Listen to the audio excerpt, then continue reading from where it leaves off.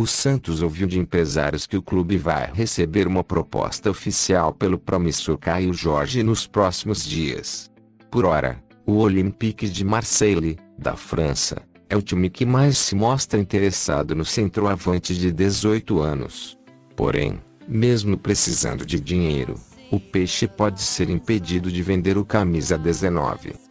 Isto porque, segundo informações do All Sport, o Estatuto do Santos proíbe que a instituição faça qualquer movimento no mercado durante os últimos três meses de mandato, outubro, novembro e dezembro, de seu presidente, nesse caso, José Carlos Pérez.